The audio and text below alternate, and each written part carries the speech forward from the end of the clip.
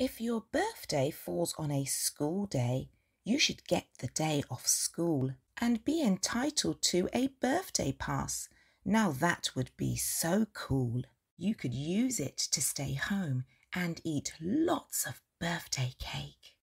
Watching all your favourite movies with cream cookies and milkshake. You can open all your presents and do whatever you please. Having a treasured birthday pass would make life such a breeze. You wouldn't get in trouble. You could do things your own way. You won't get marked as absent because it's your special day. There could be a slight problem if birthday passes come true. What will happen to the children if the teachers get one too?